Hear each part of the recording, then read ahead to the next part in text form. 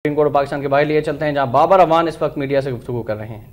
कहना चाहना वहाँ। तो शेर ये है कि नोटिस मिलया कार साहब नोटिस मिलया कख ना हिलिया। वाह। क्यों सोनिया का गिला करो? करो मैं लख बारी बिस्मिल्ला